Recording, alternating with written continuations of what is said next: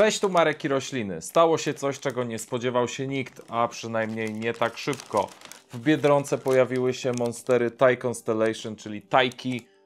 No i generalnie teraz toczy się bitwa w Biedronkach o to, żeby swoją Tajkę dorwać. O tym, jak ją zdobyć, powiem Wam za chwilę, no i też przesadzimy je, zobaczymy od razu, co się dzieje w korzeniach. Kupiłem dwie, jedną dla siebie, w sumie pod odcinek, a drugą dla przyjaciółki, ale też je od razu przesadzę. Zapraszam na odcinek. Już od jakiegoś czasu ludzie sobie żartowali, że za chwilę tajki będą w biedronkach i w ogóle. No ale rzeczywiście tak się stało i to jest naprawdę wielki szok. Ja dostałem pierwsze powiadomienia od Was, bo dostaję co chwilę jakieś wiadomości o, o nowościach i właśnie dostałem informację, że w Biedronce pojawiły się tajki. To były pierwsze zdjęcia takie w nocy z poniedziałku na wtorek. Więc we wtorek aktywowałem po prostu wszystkie siły i pojechałem chyba do 10 biedronek. Niestety nie udało mi się nigdzie kupić. Zaraz Wam powiem, jak to zrobić skutecznie, jak sobie sprawdzić, czy da się kupić to w sklepie u siebie, czy niekoniecznie, czy gdzieś trzeba podjechać. W czasie montowania filmu dostałem jeszcze taki filmik właśnie od widzów i myślę, że Was to zainteresuje. Ponad 35 tysięcy tych roślin trafiło do biedronki. Tutaj jest relacja od producenta, więc naprawdę prawie każdy może ją kupić. Ostatecznie udało mi się je zdobyć dzisiaj rano. Wstałem specjalnie, żeby sprawdzić w aplikacji, czy gdzieś już jest. No i okazało się, że tylko dzielnicę dalej, więc poleciałem na autobus, wsiadłem, poszedłem do sklepu. No i zacząłem szukać tej tajki. Y, Generalnie na roślinach jej wcale nie było, ale zobaczyłem przy kasie samoobsługowej dziewczynę, która kupowała również dwie i zapytałem, gdzie one stoją. Okazało się, że stoją w kartonie, jeszcze nawet nie rozpakowane, a już są Ziemiórki. no już kilku brakowało. I udało mi się zdobyć te dwie. Jedna jest taka bardziej half moon z wariegacją. Zresztą zobaczmy, co tutaj się dzieje.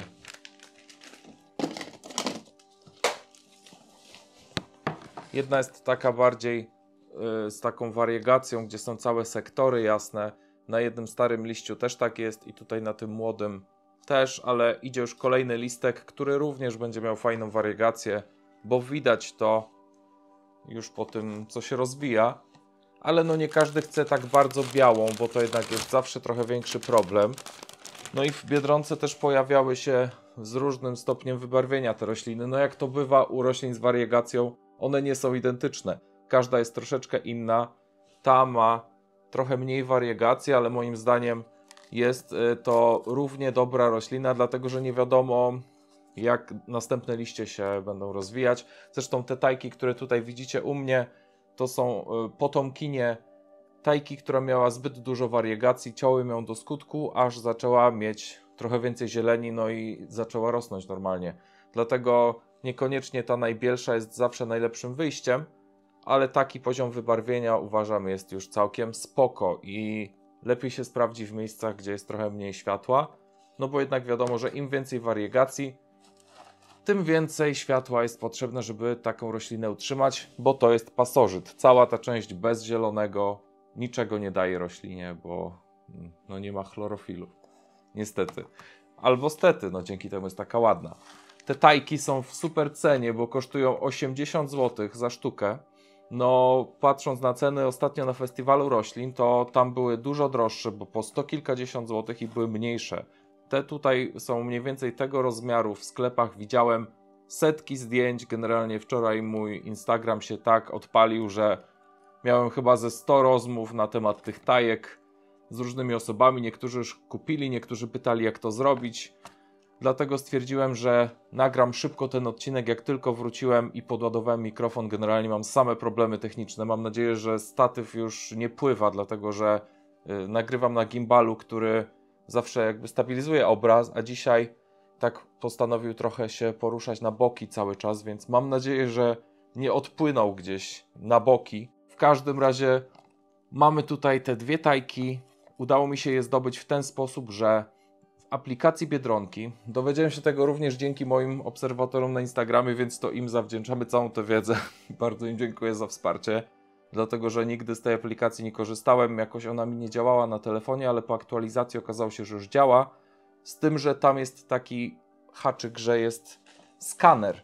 Pokażę Wam e, też na ekranie tutaj obok, żebyście widzieli jak to wygląda.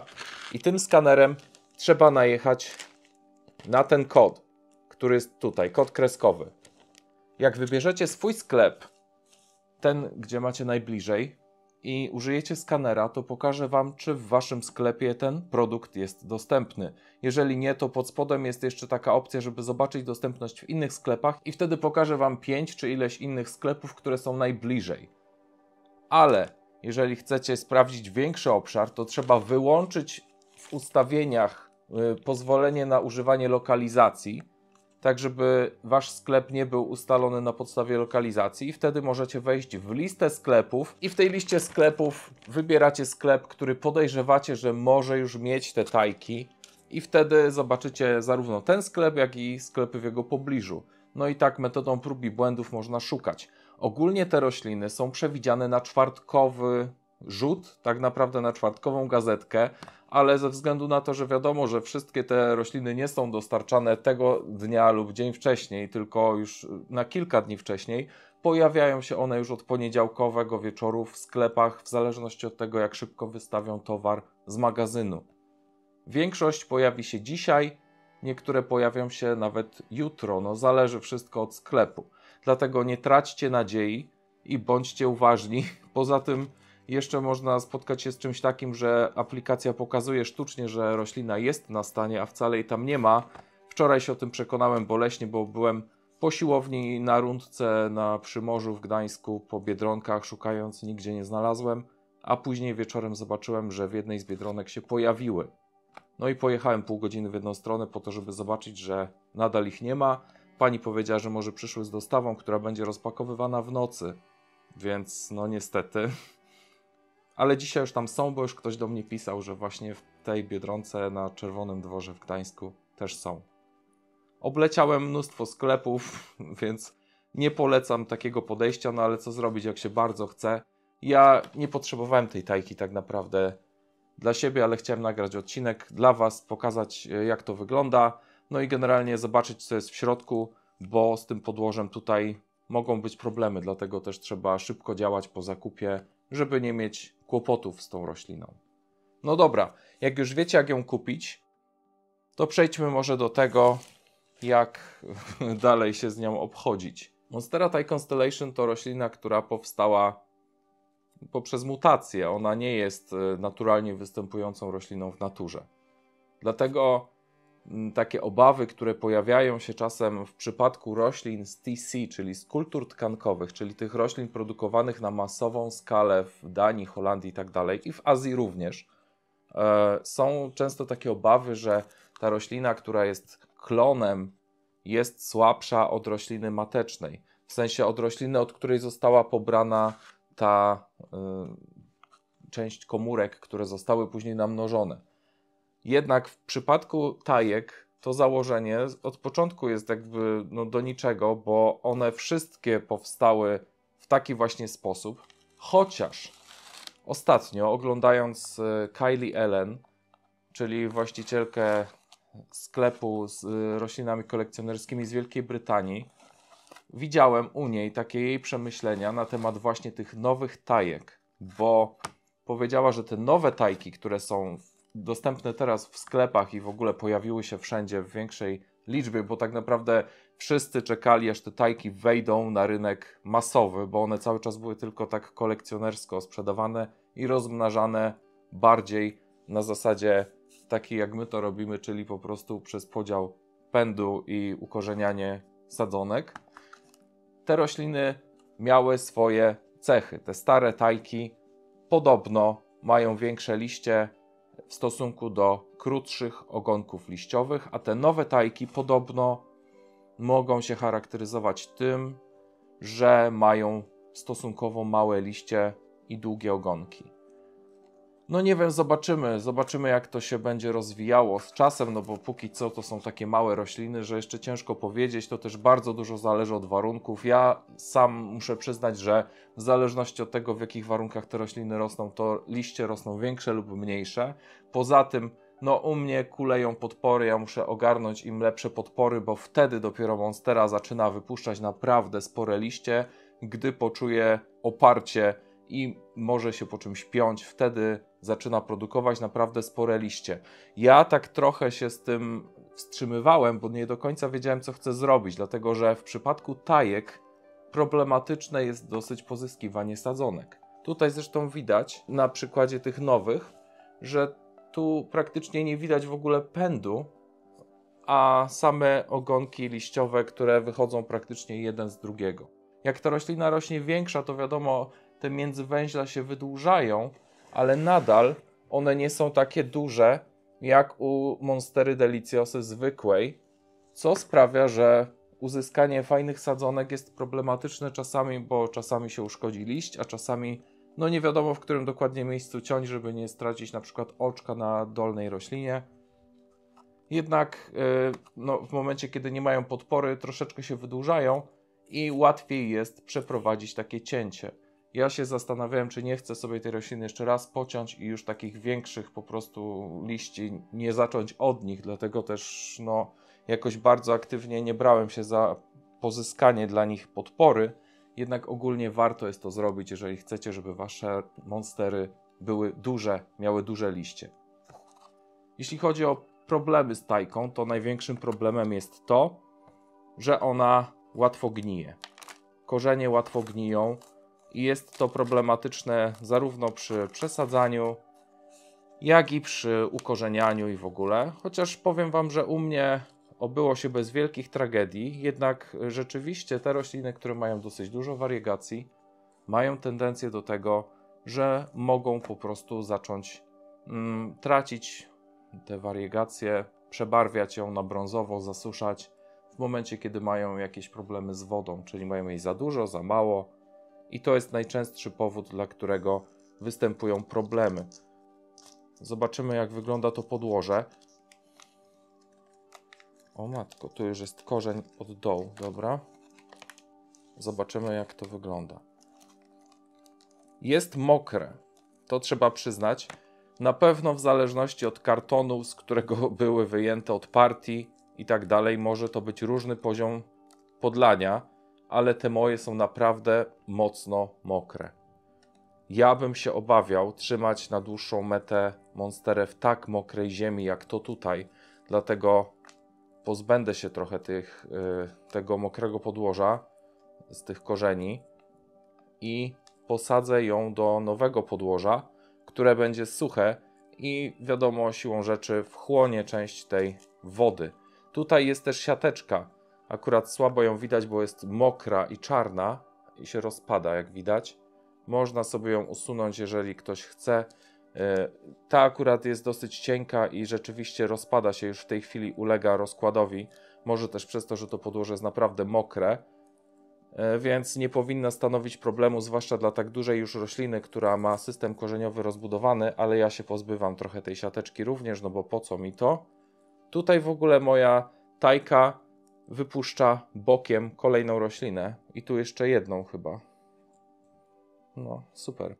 E, więc będę miał tutaj gęstszą roślinkę. Ja albo Sara, no nie wiem, którą wybierze. Raczej zalecałbym jej e, tę bardziej zieloną, dlatego że no pewnie nie będzie miała tyle czasu i, i chęci i uważności, żeby, żeby się bawić z tą bardziej białą. Chociaż jak wybierze, tak będzie miała. Mi nie zależy, szczerze mówiąc, mam tych tajek dość, więc którąkolwiek będę miał, to będę zadowolony.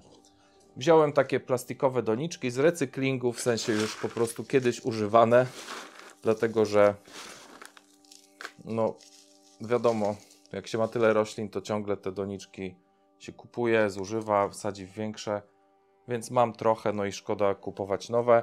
A w takiej plastikowej, przejrzystej uważam, że będzie łatwiej trochę obserwować stan korzeni i stan też podlania, co dla mnie pół biedy, ale myślę, że dla Sary również będzie bardzo korzystne.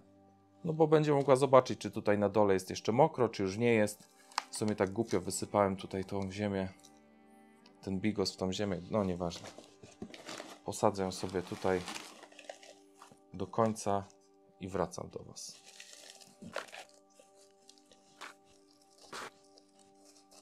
No dobra. Pierwsza posadzona. Jeszcze troszeczkę jej tutaj odrobinę tak u, ubiję te korzenie, ale żeby nie za mocno, tylko żeby się trzymała w miarę stabilnie. I teraz nie zamierzam jej podlewać, dlatego że, tak jak powiedziałem, to podłoże jest naprawdę jak. O matko, no zresztą chyba sami zobaczyliście, jak mokre to jest. I absolutnie nie jest to potrzebne roślinie do szczęścia. Posadziłem ją do bigosu, który jest taki zleżały, w sensie no już dawno, dawno temu zrobiony, więc nie jest mokry, bo wiadomo, że na początku torf kokosowy trzeba zamoczyć, żeby on się w ogóle zrobił elastyczny, raczej taki puszysty, miękki, e, a nie był taką kostką. Więc trzeba wlać w to sporo wody i ta woda jakiś czas jest, ale później odparowuje, no i, i ja już tutaj nie będę podlewał przez jakiś czas, bo, bo po prostu e, ta część ziemi, której nie oddzieliłem od korzeni, bo nie chciałem ich też tak obierać całkowicie, bo po co? Ona odda wodę tej części suchej i w ten sposób powinienem bez problemu mieć roślinę, która nie będzie przelana. No bo naprawdę to podłoże jest bardzo mokre, więc to jest pierwsza rzecz, jaką powinniście zrobić po zakupie. Powinniście przynajmniej wyjąć z doniczki i osuszyć ręcznikiem papierowym, jeżeli nie chcecie przesadzać. A jeżeli chcecie przesadzać, to e, no, zrobić to od razu, dlatego że korzenie tej tajki są wrażliwe na, na przelanie, ona łatwo gnije. Dlatego u mnie lepiej się sprawdza w hydroponice, ale tym razem posadzę ją w, normalnie w bigosie i zobaczymy, jak będzie. Myślę, że też będzie w porządku. E, jeśli chodzi o ceny tych tajek w Biedronce, 80 zł to jest naprawdę dobra cena. Jeszcze tak niskiej ceny na tajki nigdzie nie było. Były po 100 kilkadziesiąt złotych na festiwalach, teraz gdzieś tam w Obi e, też widziałem, ale e, no wielkość była inna. Przynajmniej te, co ja widziałem osobiście, to były mniejsze rośliny, młodsze. Tutaj mamy trochę większą. Tutaj też zabrałem tej siatki tyle, ile mi tu wpadło w ręce, bo, nie jest ona potrzebna. Korzeni jest naprawdę sporo, jak widać, one nie są w złym stanie. Ta roślina została tak podlana no niedawno, na szczęście. Więc trzeba działać. Jak ją kupicie w czwartek, to tym bardziej weźcie pod uwagę, że ona tak już od, od kilku dni jest w transporcie, więc absolutnie trzeba brać się do roboty i przesadzać, żeby nie mieć zgniłych korzeni. No ogólnie jestem zadowolony z tego zakupu. Myślę, że jest to fajna roślina, którą warto mieć, bo jest wdzięczna, dosyć sprawnie rośnie. Tutaj też już widać u tej jednej, że idzie kolejny liść. U tej akurat ten jest dosyć młody, więc jeszcze trochę, ale myślę, że będzie dobrze.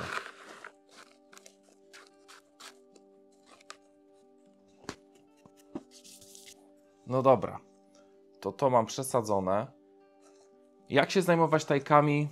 No to mniej więcej powiedziałbym, że tak jak zwykłą monsterą, jeżeli macie jakąkolwiek monsterę deliciosę, to już wiecie co robić. Jedyne co to ona może wymagać trochę więcej światła, żeby ta wariegacja była ładna, żeby nie robiła się całkiem zielona i żeby chciała rosnąć, no bo tak jak mówiłem wcześniej, te części, które nie mają zielonego, są pasożytem i muszą być wykarmione przez resztę rośliny, dlatego im więcej zielonego, tym roślina jest tak naprawdę silniejsza, odporniejsza i bliższa tej właściwej formy, która jest dla rośliny bardziej pożądana, bo roślina nie chce być wariegatą.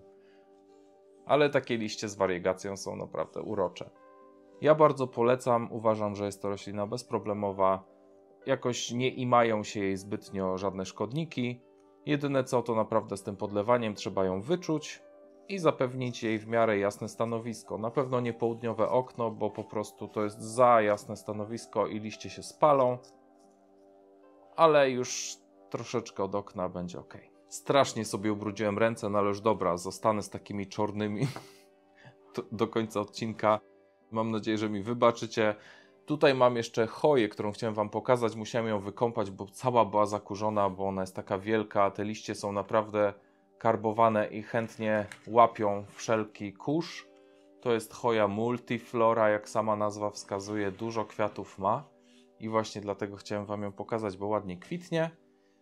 A tutaj mam odratowaną, w zasadzie, no może nie odratowaną, ale nie spodziewałem się tego, że ta roślina hmm, inaczej. Nie byłem pewny, czy się uda, czy ona będzie żyła, bo dostałem od patronki kiedyś tego Cisusa tuberosa, który wypuścił taką fajną kulkę, jedną, drugą i trochę rósł, ale potem przestał. I tak jesienią, zimą powiedzmy zamarł, praktycznie zasuszył wszystko, został sam patyk.